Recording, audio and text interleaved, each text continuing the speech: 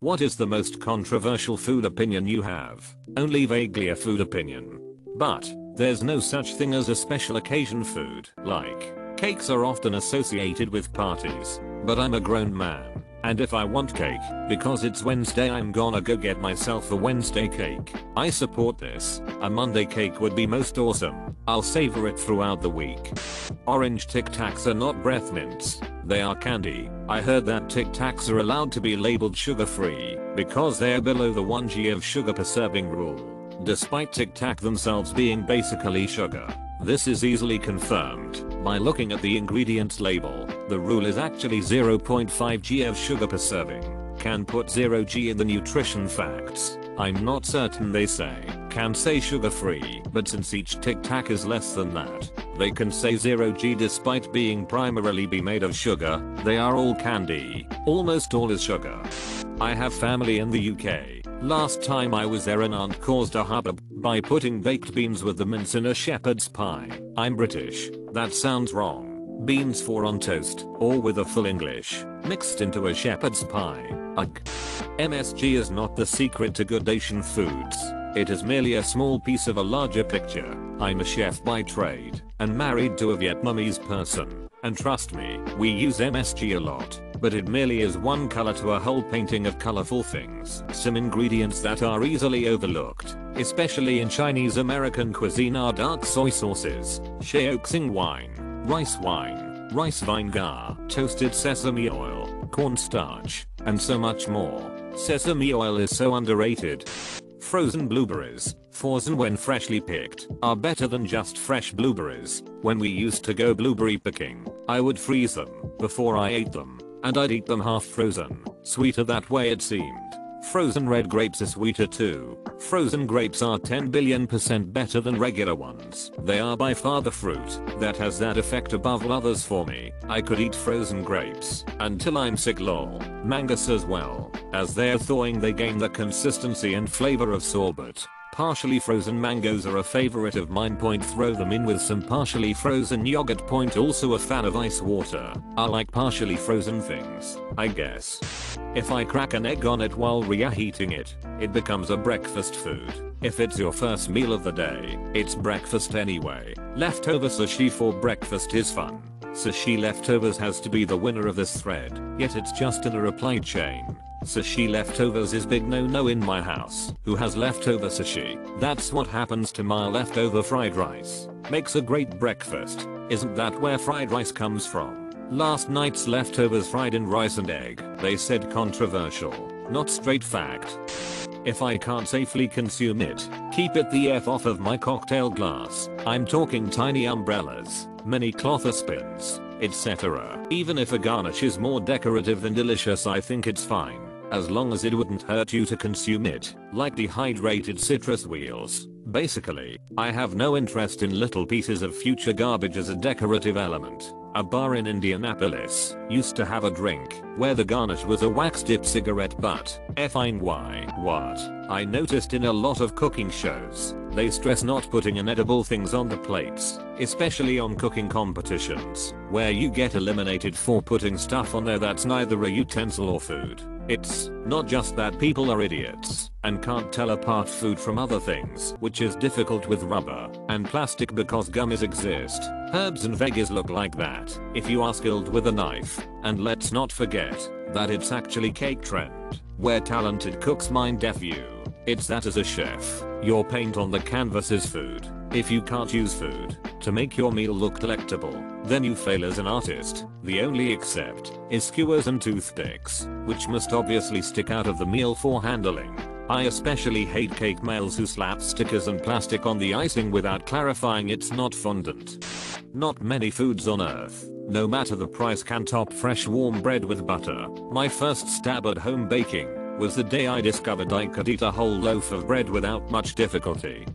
Muffins are just cake disguised as breakfast food. I'm a chef and I've been saying this for years. Breakfast imposter. Pretending to be healthy. At least a Danish is honest with you. People think muffins are healthy. Cake is breakfast food. Flour, sugar, eggs, oil. Perfect breakfast. Next thing you know you're gonna say French toast W syrup isn't breakfast. You know also eggs, oil, flour, sugar. No recipe is sacred. They're all eligible for reinterpretation regardless of your emotional attachment to them. Also, can we stop with the family secrets? Every damn time I ask for one of my mother's recipes I get a lecture from someone about not sharing it with anyone. It's a ragu sauce, not nuclear refined launch codes. Damn. Grandma probably got it from the side of a soup can anyways. MSG is awesome. I put that in a salt shaker 50 over 50 with table salt and use it in everything that calls for salt. Pure umami is game changing. Makes good. You never thought to mix it with table salt. I'll have to try that. I use it straight while I'm cooking. There's a Cajun spice called magic swamp dust that is MSG. Granulated garlic, granulated onion, black white and red pepper and oil of lemon. It may have crack in it too. In Florida we have a spice mix called Everglades seasoning it's mostly salt and some other sh My mom once went on about how bad MSG is without realizing it's one of the main ingredients in Everglades seasoning, which we put on everything. It effectively replaced salt and pepper in our house. I will forever spread the good word of MSG. My mom says, isn't that bad to do? No, it's not. It's delicious and life changing. Do they like Chick-fil-A? Then they like MSG. Why are people afraid of it again? I heard that like back in the day probably a hundred years ago a food reviewer ate it and said he felt a numb in his tongue after going home and other symptoms like headaches. The thing is that it was never confirmed if it was due to the MSG, but people believed it. So anytime people tasted say Chinese food or whatever and experienced a headache they immediately connected it to that. The thing is that a lot of food naturally have MSG in it like onions or seaweed and even fermented sauces. There is nothing harmful about them, and no matter how much you're trying to avoid them, you're still eating it daily. Fun fact, everyone complains about Chinese food containing MSG, but Doritos are full of MSG and no one ever brings it up. MSG is only two ingredients, salt and crack.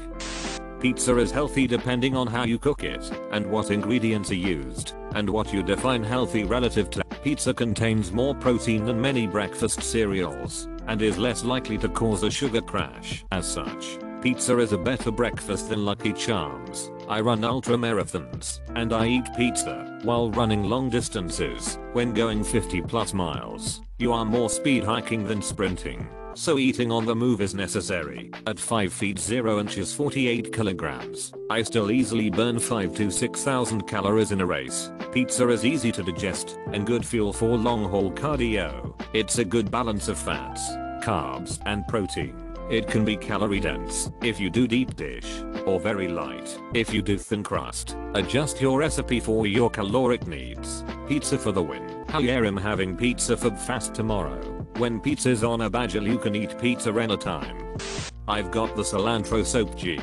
It is very hard having this gene in a primarily Mexican community and I always get the way are such a picayeter. No, I don't want my tacos tasting like Fabuloso got poured on them. The weird thing about cilantro is how many people seem to proselytize for it. When you tell people you don't like it, I have the gene too. They view it as a character flaw or something. I don't give people a hard time about it, but as a person who loves to cook for the specific purpose of sharing food, it does make me sad that they'll never know how cilantro enhances certain dishes. I only recently learned that there's an actual genetic difference between those that enjoy cilantro and those that cannot stand it. I really feel bad for the latter group. Imagine having such a severe genetic disorder that cannot be concealed. Apparently there's a similar genetic factor for whether you can smell the asparagus smell in your pee after eating it. To be clear, I mean everyone's pee smells funny, but some people can't smell it. I went to this very expansive restaurant once ordered a beautiful crab and white asparagus soup. I was so excited. Took my first spoonful might as well have been drinking the dishwater. $30 bowl of soup. And I couldn't eat it. Stupid cilantro. I have the soap gene. But I still love cilantro lol. To me, it has a mild flavor that is somewhat reminiscent of soap, but I find it delicious. Have you done a gene check or something? You can eat anything, anytime. Have a 3 course pasta based feast for breakfast. Do it. I dare you. Everyone I know says you can't do that because it's not breakfast food and whatnot. You can do whatever the F you want. In the morning, when my husband tells me what I'm eating, isn't breakfast food my response is it is, if I'm eating it in the morning. Fun fact, in Thailand, they don't have breakfast food. Breakfast food is just whatever regular food you ate for breakfast. There's no special times of day that people eat certain foods, other than personal preference. Breakfast has nothing to do with the type of food you eat. It's breakfast because you are breaking your fast after sleeping. Eat whatever you want. I've eaten leftover mac and cheese for breakfast before. Nothing wrong with that. And cold, leftover pizza for breakfast can be better than having it for dinner the night before. Yes, what kind of society tries to tell me there's an inappropriate time for my cereal? Cereal has wandered through all possible meals in my life. Literally, lunch was the trickiest, but can be done. My go-to line about this is, a cheeseburger tastes the same at 8 o'clock in the morning as it does at 8 o'clock at night. One morning, I legit decided to say F you to normalcy and ate a salad with raspberry vinaigrette for breakfast. It was such a good, satisfying meal to start my day. Cooking with wood or charcoal is superior to propane. I tell you what, my dad says butane is a bastard gas. I'm in Milwaukee and this is controversial around here, maybe elsewhere too. Don't simmer slash parboil slash boil slash whatever bratwurst in beer. Just take them straight from the fridge to the grill and throw them on low or indirect heat. Simmering in beer is a waste of time, waste of beer, and it causes fat and spices to leach out of the brats, lessening the flavor and texture of the brat. As a German I feel offended. Why would one do something so barbarian? As 17 year olds we were up at the Up Michigan and had no access to getting more beer so what we brought was what we had. The last morning of camping, before leaving we had 10 beers left and 4 guys. Three of us went for a boat ride around a creek 445 to smoke weed and came back to someone delighted to tell us he's making the final brats. Nice. We are high and food's being made. Look for the beer. And nope, used all 10 beers to make like 12 brats. Never been camping with that man again many years later. The local grocery store does a summer grill thing where they set up a shed in the parking lot with a grill and cook brats and burgers and whatnot. The burgers are usually dry as the Sahara, but the brats are always good point except the incident point the person who was cooking the brats cooked them on the grill first and then threw them in boiling water and left them there till someone bought one. End result, bite through the skin and get mouthful of finely ground meat paste that has no flavor whatsoever. Literally the most disgusting thing I've ever eaten. Every once in a while I'll cook brats in my cast iron and I'll toss a splash of the beer I'm drinking and there I like it. But I normally go straight to the grill and would never boil them lol. I'm so glad that most of these are actually controversial.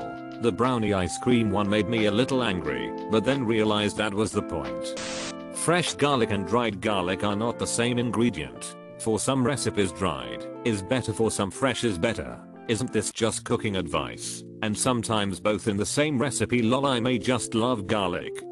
I like brownies and ice cream separately, but I don't like brownies in ice cream. However, ice cream on top of a brownie is okay, the brownie being warm is key, to ice cream on top. Will you eat the brownie and ice cream together? If it was on top, brownies and ice cream are not as good as a fresh cooked warm brownie with ice cream on top. People with severe food allergies should eat at home. As an actual unpopular opinion I'm sure this will get buried. But I'm 100% serious. I did a decade in culinary and I can guarantee you that eating out with a severe seafood, mushroom, nut or allium allergy is no different than rolling dice with your life. Back of house workers will generally have some degree of training in avoiding cross-contamination, but very few will be able to reliably guarantee that you won't be firing a epinephrine into your thigh by dessert. I can promise you that Braxton the budding garde manger slash aspiring SoundCloud rapper with face tattoos and meth pipe burns on his mouth isn't the guy to place your trust in. Eat at home. I work at a Subway and had a guy order a gluten free for an allergy. He mentions later on that it's for his young son who's deathly allergic. I immediately stopped and said that everything is shared equipment and that no one should eat at Subway if they have an extreme gluten allergy. He just kind of went it's fine and told me to keep going. Like homie you're okay with gambling your son's life just so he doesn't feel a little left out when you order taquillas. Our entire menu is bread and you're telling me your little kid will drop dead if any bread comes within like a 5 mile radius of him. Please don't put that responsibility on me as a worker, because we cannot guarantee that it is 100% allergen free. One time I had a customer ask me if something had a certain ingredient. I said I can't guarantee it doesn't have it because part of the ingredient list here is just spices which could include that thing then she said ah it's probably fine then later called to complain saying I told her it would be fine. Some people are just liars or brain dead or both. I would have not served him. I used to work in product development for a cookie place and we were working on developing a gluten-free line. Obviously we had flour in the test kitchen because we were still working on other projects at the same time. But we'd sanitize everything extra when we were doing our gluten-free stuff. We weren't selling or serving the test gluten-free marked as gluten-free. We just didn't want excess gluten contaminating the recipe and possibly altering it. I brought some test cookies home to my mom who is diagnosed celiac, she gets a pretty bad stomach ache with a small amount of gluten. And if she eats too much she can be hospitalized and made sure she was aware they didn't have gluten in them, but they were made in a kitchen that made other products containing gluten. She ate a couple and ended up feeling sick just because there was minuscule amounts of gluten either in the air in the test kitchen or still on the machinery somehow. There is a 0% chance I would have given those to her if she was deathly allergic, and there's no way in hell she'd have a step foot or received food from a sandwich shop. That's ridiculous. When I ran a restaurant, I had this conversation nearly every week. I'm deathly allergic to fish, so make sure it's not in the dish. The pad thai is made with anchovy oil. I can't take that out. A that's fine. It's not that bad. So what I'm really trying to say is, People have no problem lying about these things for no discernible reason. For FS sake, parents are the worst for this. I've cooked for kids with multiple allergies and their mum or dad orders everything the kids is allergic to cause they can't have it at home. I make sure the allergy meal is carried separately from the rest, but seriously wonder at the stupidity of the parents. In high school I washed dishes at a Mandarin Chinese restaurant. The cooks were all recent immigrants to the US. I recall one night the busboy, white suburban kid like myself at the time, relaying a question from a customer to the cooks, who didn't really speak English. The question was, do you use peanut oil? Later in the evening the ambulance came. I can't fathom somebody with a severe peanut allergy going to that kind of place. Even if we didn't use peanut oil, and I'm pretty sure we did, there was peanuts in a lot of the dishes. My friend has an apparently deadly shrimp allergy. She told the, the restaurant that she had a seafood allergy, but IDK how there was actual shrimp sauce on her dish. She started to have a rash but nothing too bad. Thankfully it went well for her, but it's true that it's super dangerous. Cause even if you pay attention something can slip, or be on your hand, or if the knife touched something with the allergy it could be dangerous. Allergies are something that shouldn't be played with. I once refused to serve a customer because of the severity of their seafood allergy. They'd come in previously and gone into anaphylaxis because another customer two tables away had ordered grilled shrimp. I don't know how they expected my establishment to be able to safely cater to them. I can't even begin to conceive of the logic. With an allergy that severe, it simply couldn't be reliably done. I have a mild peanut allergy and honestly I won't eat much that I don't make myself the biggest problem I have is other people trying to accommodate me and I hate it. If everyone else wants Thai then we should do that I just won't eat anything stop trying to find a place that works for me. I'm an adult and I don't turn into a pumpkin. If I miss a meal I'm fully competent to cook at home. And I'm mostly there for the social aspect anyways. I have celiacs, went to a family thing with my wife's family and they were legit offended I didn't eat anything. Like I don't know what's in it, and I don't want to get sick. Let me not get sick in peace. As a celiac I co-sign this. Please, everyone, stop cooking for me. I don't want to eat it, because I'm like 90% likely to get sick. But I also don't want to look like a dick by turning down something you made especially for me, but then cut with your bread knife, which gets used on the daily for gluten. It's no fun. Please let's all be happier and just not go there. Totino's party pizza is delicious. I'm still kind of bummed they ask where now. Dandelions and other edible weeds are tastier than most salads sold in markets. You can also eat daisies, marigolds, impatiens, chickweed, Stinging nettle you can eat more than you think that are some examples I eat sometimes. Dandelion. Sid voice. Must be the last one of the shishan. MMMMMMM. Pine cones.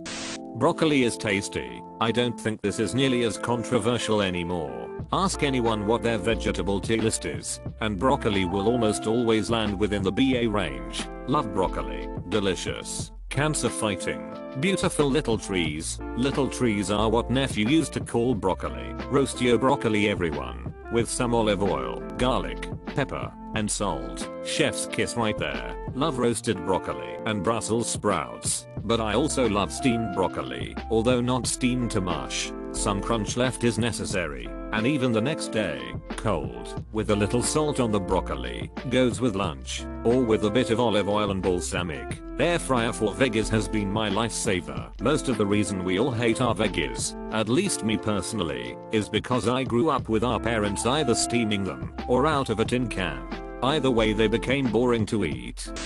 Fast food on occasion is fine if you're trying to be thrifty or you're in a hurry. A cheap greasy cheeseburger can even be a nice tasty treat every once in a while. However low-end chain restaurant like Chili's, Applebee's, TGI Fridays just serve Thai frozen food and should never be visited. They're the same price as any other decent restaurant. I have recently started adding pesto to omelets game changer. The difference between good coffee and great coffee is not worth the amount of energy people spend on that difference. We have too many restaurants and can shed like 80% of them. Too much fast food, mid slash low tier chains, Chili's, and future bankruptcies, where like somebody gets an inheritance and the only thing they can think is opening a diner. Lots of good food takes time. I can't spend 10 hours every day smoking meat or 4 hours prepping shawarma. Sure get rid of all the frozen pre-prepped garbage restaurants which is more than 80% of them, but real homemade food and mom slash pop restaurants are a boon for society. We have too many chain restaurants, and not enough small ones. Yeah. Like if I'm driving through different states and cities I want to pull off and get some good regional slash local food and have it be different everywhere. Not pull off to the same three dystopian neon signs everywhere I go lol.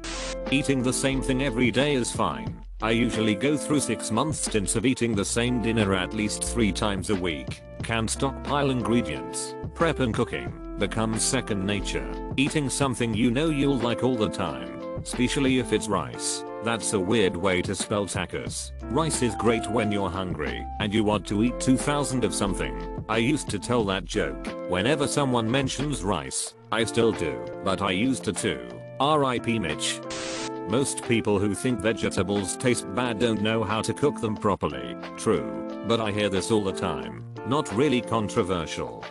That excessive pickiness about food is worth breaking up over. How do you break up with your kids? They eat pasta, tomato soup and rice. I don't have any, but just tell them it's not you. It's me even though it's them. I did not want to spend my life with someone who ordered hamburgers at every single restaurant ever, whether it was a Chinese place, Mexican, Italian, or even a just a pizza joint it was the effing hamburger. Eventually I just blew my top. This dude had the audacity to be about not finding anything to eat in Korea because nobody apparently had his basic a hamburger. He was not even interested in trying anything else. Ever. I was on vacation in Hawaii when I was 16 with my two aunts and brother. We go to this rundown looking place on Oahu that apparently looks bad but has the most amazing food. Like every table is packed Thursday night through Sunday. My aunt tells me they have the most amazing burgers. I order one, and she proceeds to get mad that I ordered a burger and not some fish or shrimp meal.